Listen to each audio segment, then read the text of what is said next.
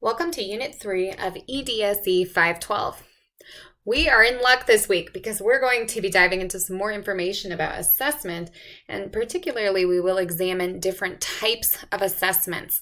So, obviously, in some situations, one assessment will be appropriate or necessary, and another won't. This is going to be information that will help us to decide what to use and when when we're assessing a student we can gather some really unhelpful and perhaps even inaccurate information about a student and his or her skill sets if we're not choosing the appropriate assessment and utilizing it in the appropriate fashion, reliable and valid, as we were discussing in the previous unit. So we will have a Unit 3 discussion coming up, and you all have been doing a really nice job engaging in those. Same concept, same structure for the posting deadlines, and you will want to ensure that you're doing that APA 7th edition source citation so that we're supporting those discussion statements with evidence. That really moves our discussion from a conversation into an academic, uh, true, rigorous discussion where we are expanding, sharing our viewpoints, and supporting them with evidence. So I appreciate you doing those citations. Uh, it also just helps us to integrate our reading. We want to make sure that those are not separate from what we're doing in the online course shell, that they really do support one another. So that's an opportunity for you as you read to just be looking for relevant quotes, terms, and passages that you can blend into our discussion. So this week we've got a pretty large PowerPoint here. We won't go through the entire thing because it does move over the various types of assessment. One thing that we'll be focused on here is formal versus informal assessment. So formal assessment obviously would be the testing that we might do for instance, if we're evaluating a student for special education initial eligibility or for re-evaluation to continue eligibility in special education or to not continue. Um, so an example of one of those might be the Woodcock-Johnson or the WIAT, an academic evaluation. You might see some of those that are then producing those standard scores. And that formal assessment is being used to make educational decisions and um, it is based on comparison to other scores across the population. Whereas the informal assessments would be uh, you could look through a portfolio and records that you might have.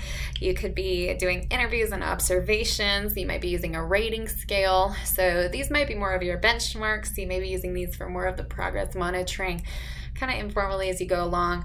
If you're teaching a lesson, your informal assessment might be a little check in or even an exit ticket. It could be um, just questions that you ask along the way and the types of re results or responses that you're getting and whether those are accurate. And then the formal assessment would be the unit test. So you might do a quiz or a test at the end of that class day, that lesson, or at the end of a unit, for instance.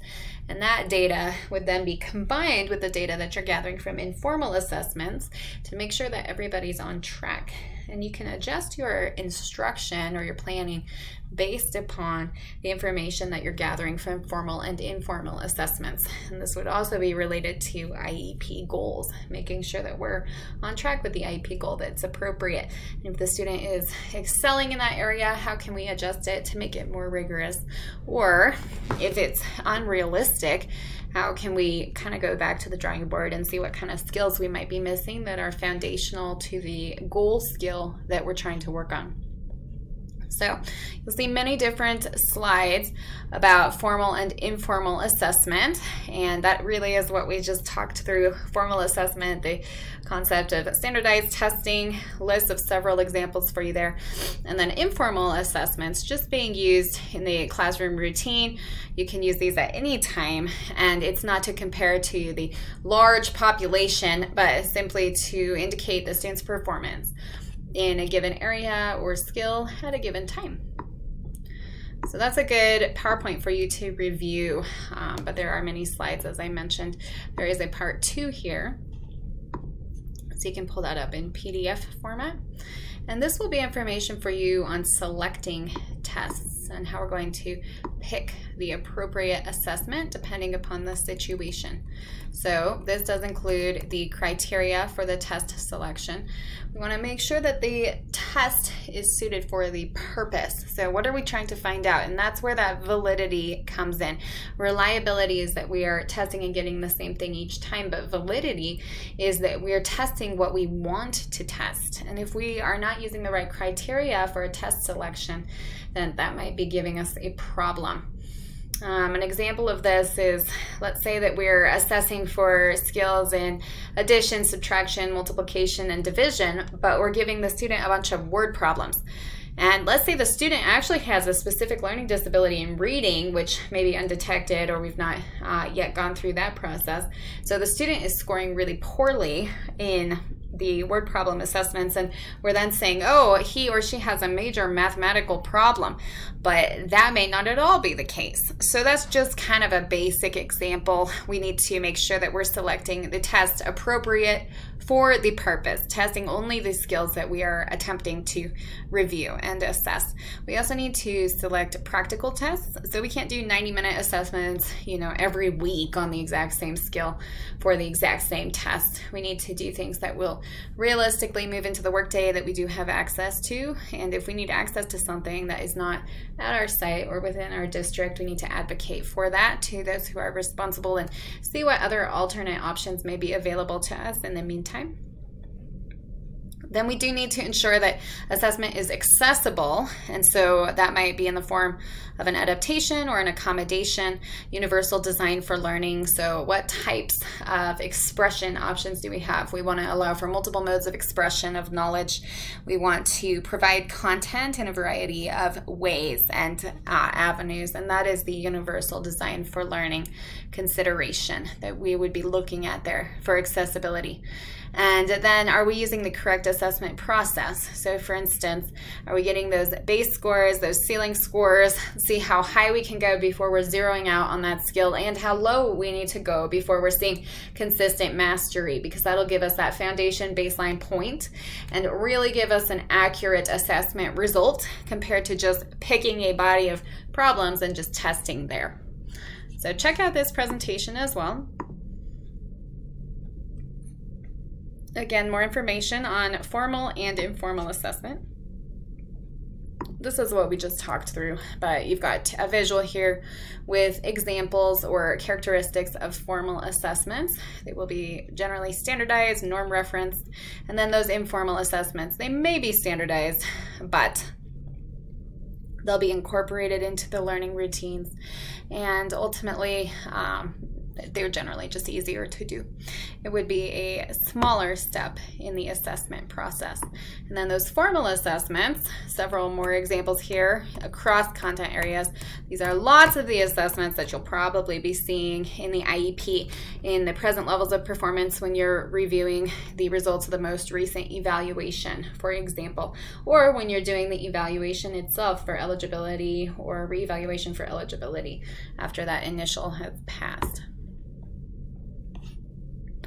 And this is a page with many examples of informal assess assessments. We just talked through the option of the observation, several different rating scales. Here's an article related to portfolio assessments and we might be gathering a lot of different work samples from the student that then would give you evidence of the student's mastery in a given area so that could be reading writing whatever you're looking for you may have a portfolio And again, just as mentioned in the presentation, we want to make sure that we're selecting the right test and taking into consideration culturally and linguistic, linguistically diverse backgrounds. So with that diversity, are we using culturally appropriate and informed and unbiased assessments? So there are a lot of questions here related to how we might evaluate a test. What do we need to think through? What kind of scores will this test or assessment present us with? And is that really what we're looking for? Just as we were discussing. Will this take too long? Do we have access to it? Do I need to be trained and sit through 12 hours of professional development in order to get a certificate to give this assessment? Or is this something that I can just sit down and do and it'll be self explanatory? That's what we need to know. So UDL, Universal Design for Learning considerations, may also be considered for accessibility of the test. And this is a very important page. It's related to special education assessment for eligibility for services. And this is addressing the culturally and linguistically diverse population and performance on those assessments or cultural bias in assessment. This is a very hot topic in research. It's very important in the field right now that we're looking into this closely and avoiding this bias as much as we possibly can within the field and any of that inappropriate eligibility or over identification. For instance, we need to look for any of that kind of inequity um, and make sure that we've got tabs on that and an eye on it to avoid bias. So that's an important consideration in assessment. We did hit on it in a discussion already, but we're going to see it coming up again. Um, this is an article regarding measuring or monitoring of progress for students, and it is from Wrightslaw. So, this is about tests and measurements for the parent, teacher, advocate, and attorney. And it is a PDF document. So, you can take the time. There's an example this story regarding a student named Shannon, and this is case law it's important to know the difference between statutory law and case law. So, reading off of a case that has occurred, we can look at the decision made within that case, and that will help us to identify the legally appropriate decision in future cases, even situations that we might encounter.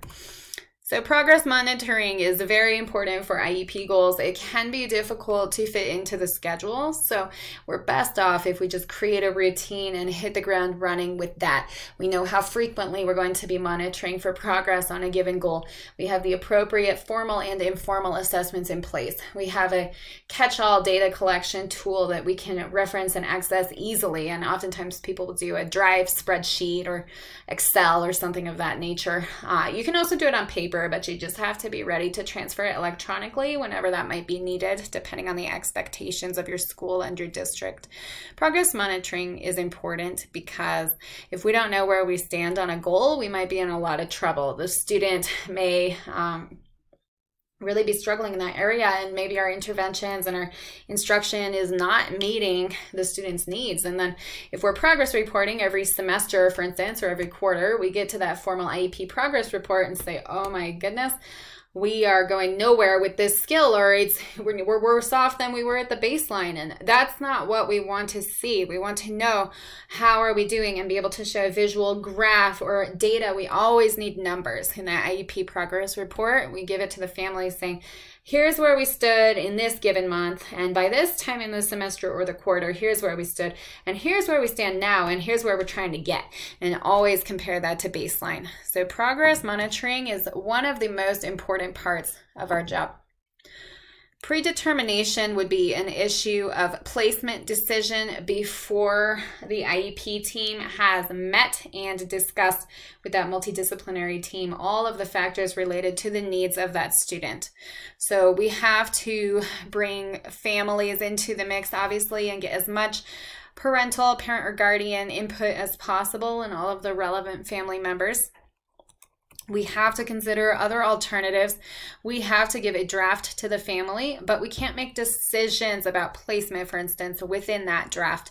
We've got to wait until that meeting. And oftentimes, a meeting will go a way that we did not expect it to. So that's why we need to avoid predetermination because we never have all the info, we never have all the answers, and it's actually against special education law to predetermine, to make educational decisions before we have moved through that IEP process. That is the point uh, behind the IEP team concept.